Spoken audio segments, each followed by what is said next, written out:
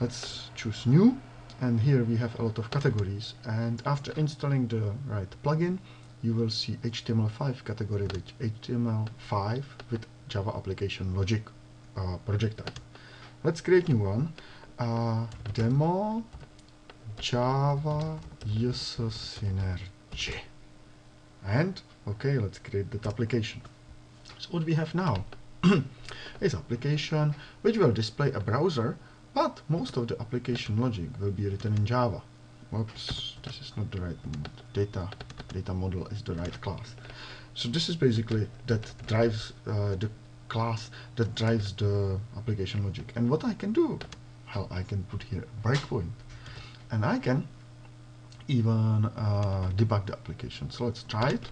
Let's see how it looks like. So uh, my Java code is compiling uh, and executing, and it will render its UI in a browser. Uh, this is using uh, the HTML for Java APIs developed as part of NetBeans.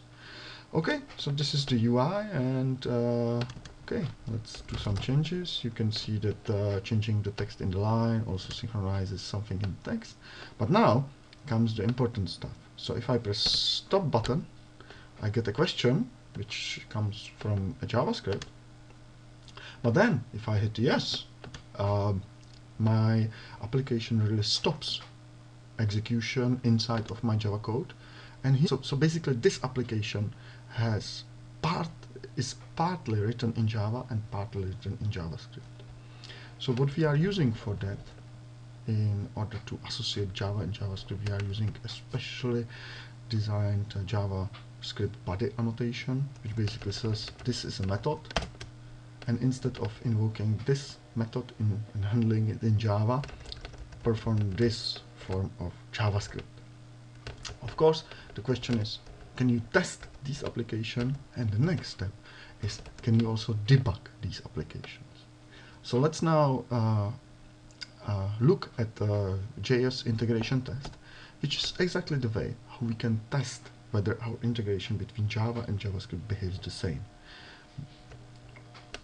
So here is a uh, test case which verifies that after calling the confirm by user method, calling this method, we can really get back and uh, see that the callback returns into Java. So let's put a breakpoint here and, and debug this test.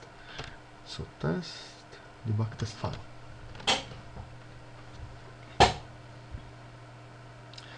The Maven project compiles, executes the test, and now what we can see is, okay, our code really stopped inside of the um, Java code. So let's do debugging and here what we can see is uh, basically the stack trace. And the surprising thing that I'd like to show is here uh, is a mixture of um, frames coming from Java and coming from JavaScript engine called Nashorn. Nashorn is the scripting engine for upcoming JDK 8.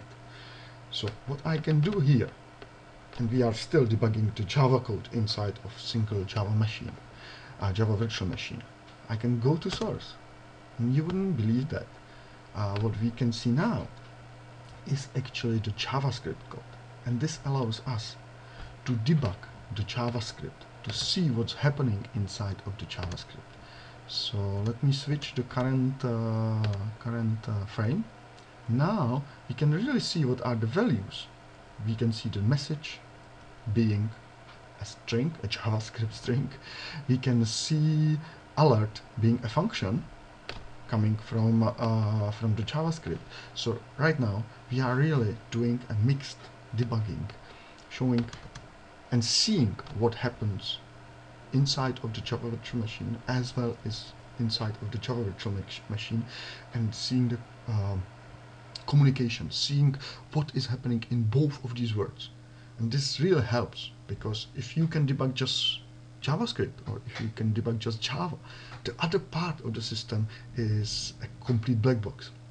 Ins 8, together with JDK 8, uh, comes with a great feature that allows everyone to basically understand behavior of mixed system, a system which contains JavaScript and Java. Okay, so uh, let me do some change.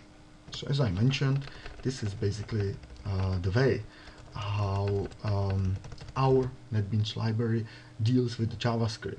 Of course, at the end, this gets turned into invocation of the Nashorn scripting machine, which is part of the JDK.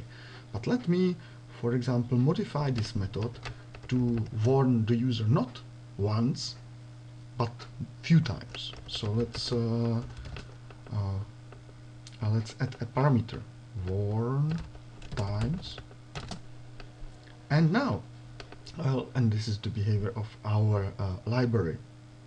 It says, okay, the number of actual method parameters does not match the number of JavaScript parameters. So let's add one parameter here. So now we have three Java parameters and also three uh, JavaScript parameters. And what we will do is to somehow format the body so it's slightly better uh, organized. And what we will do is to add a while cycle 1 minus minus greater than 0 then repeat the following things here. Okay and that basically should lead to a state when we can warn few times and only then perform the action that we really want to perform. So mm, we need to modify the call. So in the application we will call uh, warn just once. But let's say for example in the test this uh, confirmed by user should run three times. And three times that basically means that this runnable method should be called three times uh, and the called uh, integer value should be increased three times. So let's change the value here. And let's do some debugging. I will put a breakpoint here as well. And let's do debugging once again. Debug test file. Again the it's a maven project it gets compiled and the tests get executed. Um, and yes again we can see that we, we are in the in the uh, Java call stack. So let's uh, make this the current state uh, current uh, current frame and we can put breakpoint here as well. No not a problem. So we can put the breakpoint into the JavaScript code and we can continue. So now it stops here and says warn is true. So let's do another callback and if we continue well we are here again. And once again eh, the warn goes down but we can see the JavaScript code. We can continue and continue. Um, now uh, we are out of the loop because warn became uh, zero and we really can see that the callback has happened three times and the test can continue. I have demonstrated enough the power of upcoming uh, NetBeans 8 that really helps you um, debug mixed application, applications that use Java and JavaScript inside of the same